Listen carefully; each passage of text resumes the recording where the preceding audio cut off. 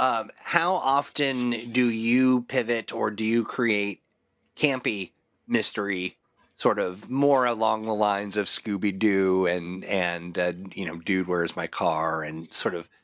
Mhm. That depends uh, both on what kind of campaign I am running and how much preparation I've done. Because when I Yes. improv, usually my improv is silly or horrible. you mean horrible as in horror or horrible? yeah, as in just like the worst thing possible would happen. But I mean, comedy is a fail state of horror. Mhm. To be fair. sure.